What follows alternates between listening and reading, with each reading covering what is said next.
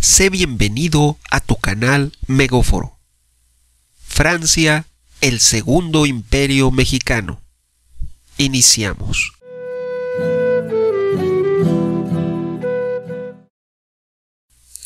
Todo inicia cuando el 6 de marzo de 1862 llegan 6.000 soldados franceses al puerto de Veracruz y dos meses después se enfrentan al ejército mexicano. Es decir, México tuvo dos meses para prepararse para la famosa batalla de Puebla, la cual, como bien sabes, se ganó, no por lo que se dice o dicen los libros de texto y algunos historiadores. Te diré que se ganó porque el ejército mexicano hábilmente peleó en una posición defensiva.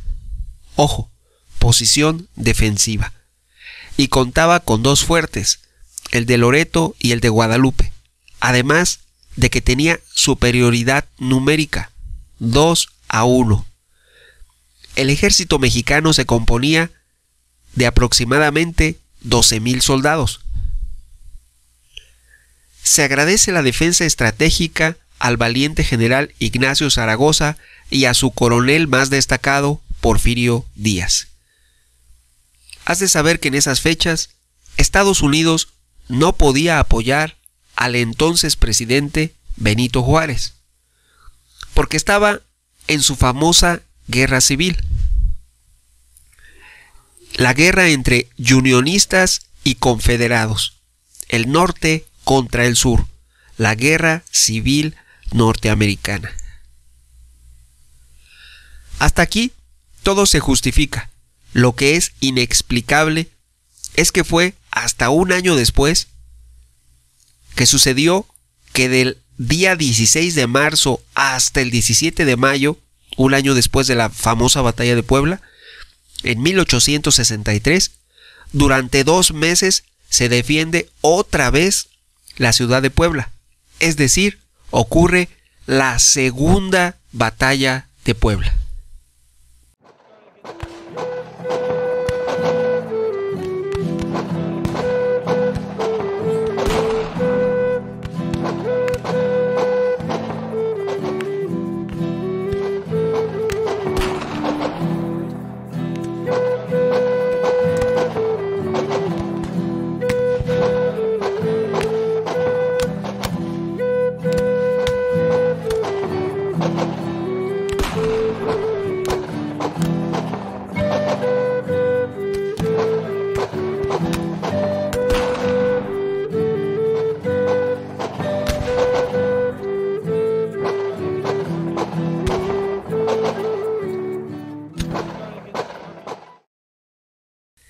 En esta segunda batalla de Puebla, México aumentó su ejército de los 12.000 con los que contaba cuando ganó el general Ignacio Zaragoza, hasta sumar en ese momento de la batalla 29.000 hombres, ya que Estados Unidos había eh, se encontraba a punto de salir de su guerra civil y apoyaban los unionistas a Benito Juárez.